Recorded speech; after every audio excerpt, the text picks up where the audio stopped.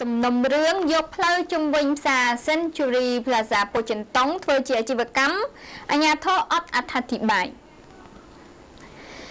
ដើម្បីសុផលភាពទីក្រុងនិងកាត់បន្ថយការកកស្ទះចរាចរណ៍សាលារាជធានីភ្នំពេញបានរៀបចំឲ្យមានផ្លូវបេតុងជាច្រើនខ្សែក្រោមរូបភាពស្ថាបនាផ្សេងៗគ្នា មានបដិភិកនិងវិនិយោគជាដើមប៉ុន្តែផ្ទុយទៅវិញគេមើលឃើញថា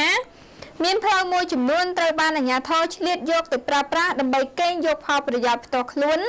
ដែលជាហេតុបង្កឲ្យបញ្ហាកកស្ទះចរាចរណ៍និងភាពគ្មានស្ដាប់ធ្នាប់នៅដដែល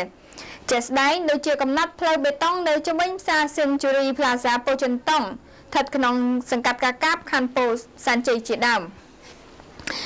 ផ្លូវយ៉ាងហោចណាស់ចំនួន4ខ្សែនៅជុំវិញផ្សារនេះត្រូវគេដឹងថាត្រូវបានប្រធានផ្សារនិងក្រុមហ៊ុន TPC ដែលខົບខិតគ្នាជាមួយនឹងអាជ្ញាធរចុះទៅពុះជួលឲ្យអាជីវករលក់ដូរក្នុងមួយថ្ងៃចាប់ពី20000ទៅ25000រៀលដែលបណ្ដាលឲ្យផ្លូវទាំងនោះជាប់គាំងមិនអាចធ្វើចរាចរណ៍បាន នៅចំពោះមុខបញ្ហានេះលោកដួងយ៉ាម៉ៅប្រធានផ្សារ Century Plaza ពោចិនតុងក៏ដូចជាលោកស្រុនឡុងម្ចាស់ភាគហ៊ុនមួយរូបនៃក្រុមហ៊ុន Harmony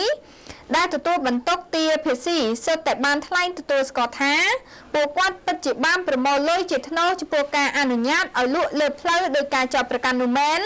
ដែលរួមទាំងការទាលុយពីការផ្ញើម៉ូតូចំនួន1000រៀលទៅផ្ញើម្ដងលើសិភៅបន្ទុកដែលកំណត់ដោយមន្ទីរហិរញ្ញវត្ថុផងប៉ុន្តែយ៉ាងណាក៏ដោយអាជ្ញាធរខណ្ឌពោធិ៍សែនជ័យហាក់ដូចជាគ្មានវិធានការចំពោះសកម្មភាពអំពានច្បាប់នេះឡើយ។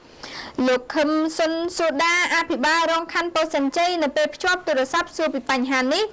លោកបានបង្វែរឲ្យទៅសួរលោកសេងគុណអភិបាលរងខណ្ឌពោធិ៍សែនជ័យទទួលបន្ទុកសម្ដាប់ធ្នាប់